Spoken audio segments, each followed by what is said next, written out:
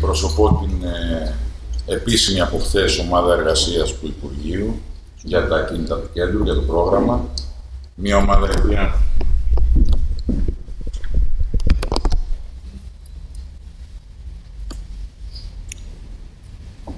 συγκροτήθηκε όχι για να υποκαταστήσει, αλλά για να συντονίσει και για να επιταχύνει τις διαδικασίες ε, δουλεύοντας μαζί με τους επιστημονικούς συμβούλους, με τους μηχανικούς ε, από τη Σχολή Αρχιτεκτόνων που εμπλέκονται ή θα εμπλακούν σιγά σιγά με τους προσώπους των ταμείων και με τα, ε, τα κορυφαία επιτελικά στελέχη του Υπουργείου. Αυτή λοιπόν, α, και με λένε Νίκο Μπελαβίλα. Ε, δίπλα μου είναι ο Μάριος Μουζάλας, επίσης ε, μέλος της ομάδας και η υπόλοιπη ομάδα βρίσκεται εδώ ανάμεσα, θα τους ε, γνωρίσετε, θα ε, συνομιλήσετε πολλές φορές μαζί, μαζί τους. Σήμερα είμαστε εδώ δημοσιογράφοι, εκπρόσωποι των ταμείων, ανώτατα κυβερνητικά στελέχη και εκπρόσωποι των φορέων που έχουν εκδηλώσει ενδιαφέρον για την ε, εμπλοκή σε αυτό το πρόγραμμα, που ήδη έχουν υποβάλει προτάσεις ε, τις τελευταίες εβδομάδες ε, για αυτό το πρόγραμμα. Σε συνέχεια της ομιλίας της Υπουργού θα προσπαθήσω να σας περιγράψω τα στρατηγικά βήματα και τα βασικά σημεία αυτής της υπόθεσης. Κατά τη γνώμη μου, πιθανόν να έχουμε σε εξέλιξη ένα εξαιρετικά καινοτόμο πρόγραμμα. Και δεν έχει να κάνει με τα ταμεία, δεν έχει να κάνει με τι φόρε κοινωνικής ασφάλισης, έχει να κάνει με τη μεθοδολογία παρέμβασης στο κέντρο της Αθήνας. Δεν το ξανά ποτέ. Δεν έχουμε δηλαδή την τύχη πολλές φορές να έχουμε τον μεγαλύτερο ιδιοκτήτη μάλλον ακινήτων του κέντρου της Αθήνας, κάτοχο δύο εκατοντάδων ακινήτων σχεδόν, ο οποίος ενιαία σχεδιάζει μια πολυεπίπεδη στρατηγική αξιοποίηση όχι ξεπουλήματος. Ας το κρατήσουμε αυτό. Η τελευταία μεγάλη παρέμβαση στο κέντρο της Αθήνας ήταν η ενοποίηση των αρχαιολογικών χώρων της Αθήνας παραμονή του 2004. Μια εξαιρετικά επιτυχής, κατά τη γνώμη μου, ε, δουλειά, η οποία τι έκανε ενεργοποίηση στο δημόσιο χώρο.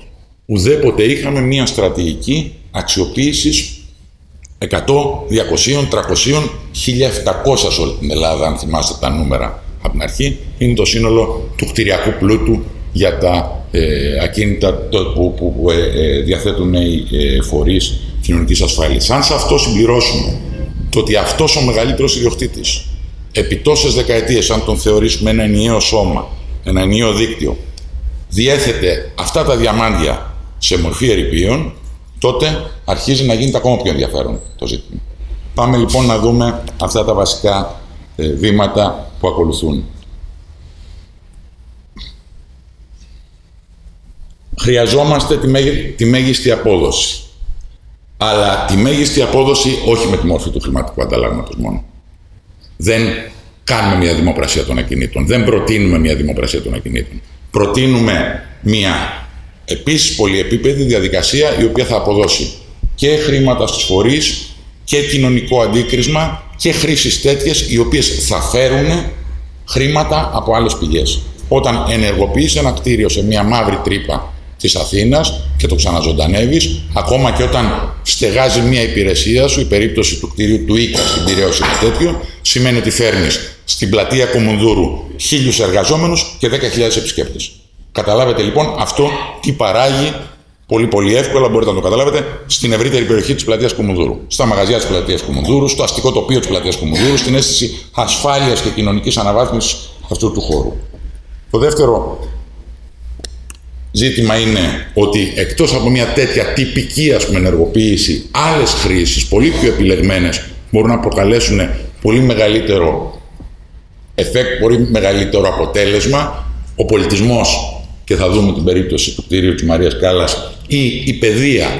Έχουμε μια πολύ σοβαρή πρόταση ήδη διατυπωμένη από το Ίδρυμα Κρατικών Υποτροφιών.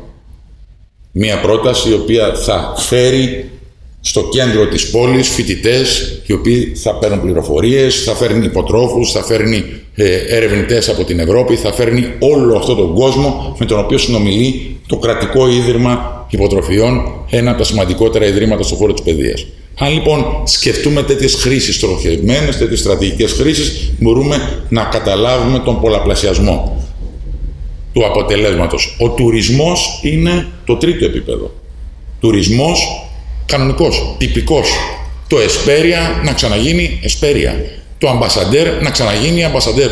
Το ξενοδοχείο, δηλαδή τα ξενοδοχεία της ε, κεντρικής Αθήνας, μερικά από τα οποία σπουδαία ιστορικά ξενοδοχεία, το Σπέρια Σταδίου, είναι ένα ξενοδοχείο της μεταπολεμικής εποχής πάρα πολύ σημαντικό. Να ξανανοίξουν για τουρίστες.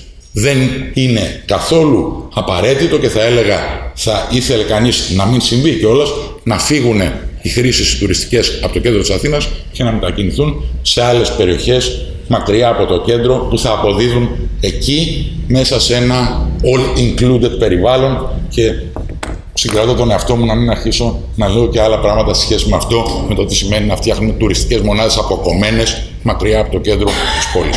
Θα συμβάλλουμε σε αυτήν την αναζωγόνηση μέσα από αυτή τη διαδικασία.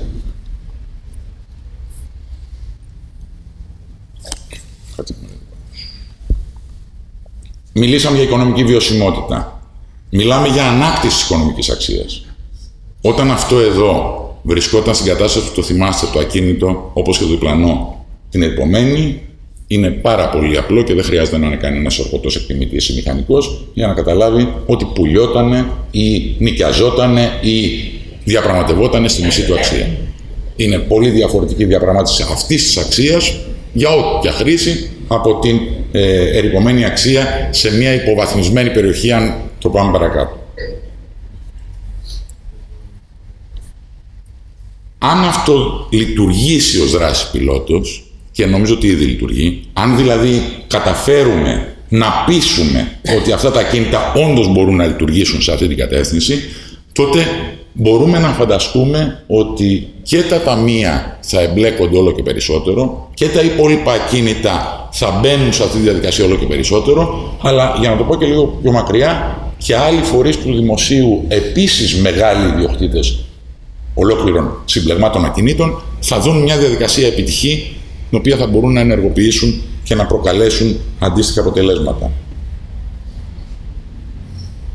Σας τα είπα και τα ξαναλέω, υπάρχει το ζήτημα των μεγάλων ξενοδοχείων, υπάρχει το ζήτημα των εμβληματικών κτηρίων τα οποία σημαδεύουν τα, ως τοπόσημα το κέντρο της Αθήνας και θα δούμε μερικά ε, παρακάτω. Και υπάρχει ένα ζήτημα πάρα πολύ σοβαρό αυτό που οι αρχιτέκτονες και οι καθηγητές αρχιτεκτονικής είναι εδώ και η αναπληρώτρια υπουργός που μας το πρώτο έμαθε και ο πρόεδρος του Οργανισμού Αθήνας, ο πρώην πρόεδρος, ο καθηγητής Γιάννης Πολύζος, που επίσης το διδάσκει, να ανατρέψουμε ή να εκτρέψουμε το gentrification, να εκτρέψουμε δηλαδή την έξωση των παραδοσιακών εμπόρων, των παραδοσιακών βιοτεχνών από το κέντρο της Αθήνας και να δημιουργήσουμε νέες χρήσεις μαζί με αυτούς.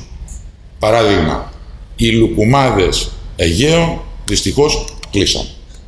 Αυτό είναι το κακό παράδειγμα. Το καλό θα σας το πω συνέχεια. Χρειάζεται λοιπόν να μπορέσουμε να δημιουργήσουμε ένα τέτοιο ε, μηχανισμό, ο οποίος δεν θα πετάξει έξω τους παλιούς ιδιοκτήτες, τους παλιούς ενοικιαστές, τους παλιούς χρήστες, προκειμένου να έρθουν κάποιοι άλλοι που θα αλλάξουν την ταυτότητα της πόλης. Τα διατηρητέα είναι το μεγάλο αγκάθι. Τα ταμεία ως τώρα μέχρι το 2015 είχαν την πολιτική ενός τυπικού ιδιοκτήτη που όταν πήγαινε μια πρόταση κήρυξη από το Υπουργείο Πολιτισμού, για αυτό το κτίριο για παράδειγμα, το Ταμείο ζητούσε να μην κηρυχθεί. Σαν ένας κανονικός εργολάβος ή σαν κανένας ε, κανονικός ιδιοκτήτης, ο οποίος δεν είχε καμία όρεξη να εμπλεχτεί με την αρχαιολογική υπηρεσία. Αυτή η στρατηγική αλλάζει. Αυτή η πολιτική αλλάζει. Τα ταμεία επιθυμούν την ανάδειξη του μνημιακού πλούτου της Αθήνας ως μεγάλου ισχυρού κεφαλαίου και αποθέματος οικονομικού για αυτά τα ίδια. Και εδώ πάλι μπορούμε να δούμε τη διαφορά. Διότι αυτό εδώ το κτίριο πλέον ως αποκατεστημένο κτίριο έχει υπερπολαπλάσια αξία από το να είχαμε εδώ μία τριόροφη αντίστοιχη, τετραόροφη αντίστοιχη τυπική οικοδομή με αλουμίνια όπως την απέναντι. Αυτό έχει μεγαλύτερη αξία γης, μεγαλύτερη αξία χρήσης από το διπλανό. Και τέλος, ένα μικρό κεφάλαιο για το οποίο θα μιλήσουμε τώρα, η ιδέα της αξιοποίησης αυτών των ε, νεκρών σημείων της πόλης που στην καλύτερη περίπτωση χρησιμοποιούνται ως πέτρια πάρκινγκ με άσφαλτο ή με ε, χώμα, ως πράσινες οάσεις, αλλά δεν είναι της παρούσας αυτής η συζήτησης. Θα σας μιλήσει στη συνέχεια στην κουβέντα, θα τα τρέξω πολύ γρήγορα ε, και ο Μάριος ο Μουζάλας για τα θεσμικά ε, και για τα επιμέρους βήματα και πώς αυτό το περίπλοκο σχέδιο μπορεί να υλοποιηθεί και θα απαντάμε και σε ερωτήσεις, οι οποίες προφανώς και θα κάνετε έχοντας απορίες. Όμως, η οικονομία κλίμακας, τα πακέτα, πακέτα σημαίνει ένας φορέας αναλαμβάνει τέσσερα κτίρια, πέντε κτίρια, δύο εμπορικά, δύο συμβολικά, κάποια που θα αποδώσουν ένα συγκεκριμένο, σε, μια, σε ένα συγκεκριμένο στόχο και κάποια που θα αποδώσουν σε έναν άλλον στόχο και αν περάσουμε σε μια δεύτερη φάση, στη δεύτερη φάση που ανέφερε ο Υπουργός, που είναι η πρόσκληση προς τους ιδιώτες, κάποια που θα αποδώσουν άμεση εμπορική αξιοποίηση για τα ισόγεια, θα νοικιαστούν, θα τα έχει ο φορέας και θα μας δώσουν αντιπαροχή. Η αντιπαροχή μπορεί να γίνει και καλή, δεν είναι ανάγκη να είναι κακή. Κοινωνική κατοικία, για παράδειγμα, η κατοικία για φοιτητές στους ορόφους. Αυτή είναι μια τίμια, καθαρή και χρήσιμη αντιπαροχή. Οι συνεργατικές εμπλοκές είναι επιθυμητές. Η εμπλοκή αυτού που λέμε κοινωνική οικονομία αλλά και των νέων επιχειρηματιών των επιχειρηματιών της καινοτομίας ή αυτή, αυτού που επίσης λέμε βιομηχανία του πολιτισμού, όλος αυτός ο κόσμος που δουλεύει ήδη στο ιστορικό κέντρο, στα multimedia, ε, στον κινηματογράφο, στην τηλεόραση, στην παραγωγή, στην εκτύπωση ή στη λογοτεχνία ή στην τέχνη, είναι ένας κόσμος που ενδιαφέρει να εμπλακεί σε αυτήν την ιστορία. Καλέσαμε αυτούς τους φορείς που βλέπετε.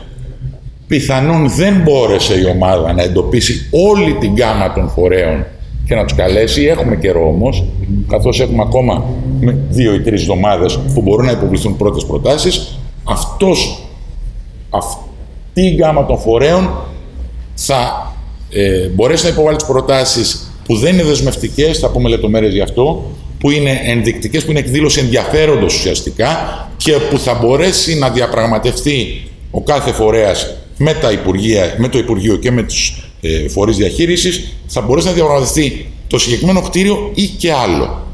Θα μπορέσει δηλαδή να του προταθεί, υπάρχει δυνατότητα να του προταθεί εναλλακτικό κτίριο αν υπάρχουν δύο ε, διεκδικούντες το ίδιο κτίριο. Δεν είναι δηλαδή μια ανταγωνιστική διαδικασία, γι' αυτό σας είπα στην αρχή, δεν είναι μια δημοπρασία, αλλά είναι μια συνθετική διαδικασία για να μπορέσουμε να βγάλουμε τη μέγιστη απόδοση και ταυτόχρονα να ε, εμπλέξουμε όσους περισσότερους ε, φορείς ε, μπορούμε. Και τα κριτήρια και τελειώνουμε.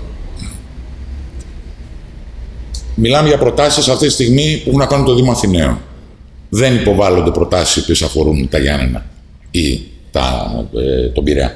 Αν υποβάλλονται, δεν υποβάλλονται στα πλαίσια αυτού του προγράμματος. Υπάρχουν προτάσεις προφανώς που είναι σε εξέλιξη με τα μία. Αυτές θα διερευνηθούν, θα εξεταστούν, αλλά το πρόγραμμα αφορά το Δήμο της Αθήνας.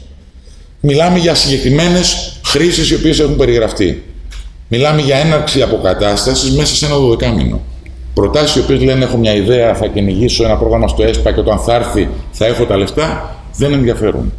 Ενδιαφέρουν μόνο αν υπάρχει το κουτί του ΕΣΠΑ, αν υπάρχει ήδη το προσχέδιο της πρότασης, αν έχει προχωρήσει η διαδικασία, αν εμφανίζεται δηλαδή μια ορίμανση, η οποία μπορεί να αποδείξει ότι από τη στιγμή που θα ολοκληρώσουμε τις εγκρίσεις, θα μπορεί κανείς να ξεκινήσει να το φτιάχνει σε 12 μήνες και να το ολοκληρώνει σε 36.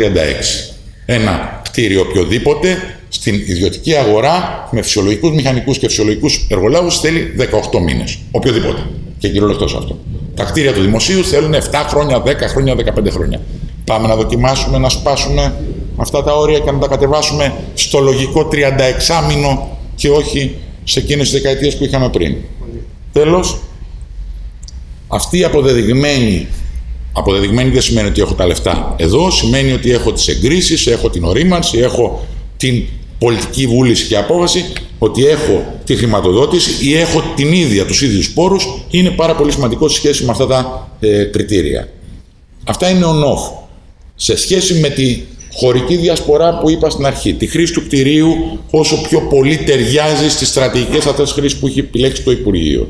Στην κατάσταση των κτηρίων είναι προφανές ότι κανείς ζητάει ένα ολοκένουργιο κτίριο πιο εύκολα από ότι ζητάει ένα δύσκολο ε, ε, σε μορφή ερυπιώδη. Θα προκριθούν ή θα έχουν μπόνους αντίστοιχα στη βαθμολόγηση αυτοί που ζητάνε να αναλάβουν την επισκευή προβληματικών κτηρίων. η ρεαλιστικότητα του χρονοδιαγράμματος υπάρχει μια ομάδα αρκετά έμπειρων μηχανικών που μπορεί να συζητήσει, να βοηθήσει, να αξιολογήσει και να βρει λύσεις στο χρονοδιάγραμμα. Η εγκυρότητα της τεκμηρίωσης των στοιχείων, που είναι ένα σημαντικό ζήτημα, και το επιχειρηματικό σχέδιο, δηλαδή η πρόταση η οποία θα συνδυάζει την πρόταση μίσθωσης, θα συνδυάζει την πρόταση αξιοποίησης, θα αποδεικνύει ότι αυτό είναι λειτουργικό, ότι θα είναι ένας αξιόπιστος partner των ταμείων και θα μπορέσει για 10 χρόνια, για 20 χρόνια, για 5 χρόνια, για όσο το ζητήσει, να βγάλει πέρα αυτή την ε, υπόθεση. Ο κατάλογος των κριτηρίων με τον οποίο θα αξιολογηθούν οι προτάσεις, δημόσιος, διάφανος, με αποτελέσματα που θα κατατεθούν και θα τα έχει ο φορέας που ενδιαφέρεται. Τα στρατηγικά βήματα για τα οποία θα σας μιλήσει ο κύριος Μουζάλας στη συνέχεια, υποβάλλουμε την πρόταση, εκτιμάται η αξία, αξιολογείται από την ομάδα έργου, προχωράει στο Ταμείο με την αξιολόγηση ομάδας έργου, το Ταμείο έχει την τελική έγκριση, γίνεται η σύμβαση και συνέχεια πάλι αλλάζουμε, μάλλον επιστρέφουμε και ξαναελέγχουμε την τήρηση της σύμβασης, την τήρηση επισκευής του κτηρίου. Από την πλευρά τη δική μας, ο συντονισμός, η τεχνική στήριξη, επιτάχυση των διαδικασιών σε ό,τι αφορά τη γραφειοκρατία, το συντονισμό των διαφορετικών ταμείων, την υπέρβαση, όχι την υποκατάσταση των αγκυλώσεων και των προβλημάτων που όλοι έχουμε μέσα στις υπηρεσίες μας και στις δύσκολες δομές μας και η τελική αξιολόγηση για να φτάσει η πρόταση στα χέρια της Υπουργού και των Ταμείων. Δεν θα αποφασίσει η ομάδα έργου, είναι ρητό και ξεκάθαρο, θα εισηγείται η ομάδα έργου, η υπουργός, οι υπηρεσίες και τα ταμεία είναι αυτοί που έχουν τον αποφασιστικό ρόλο και μπορούν να δεχθούν ή να μην δεχθούν τις νομοδοτήσεις.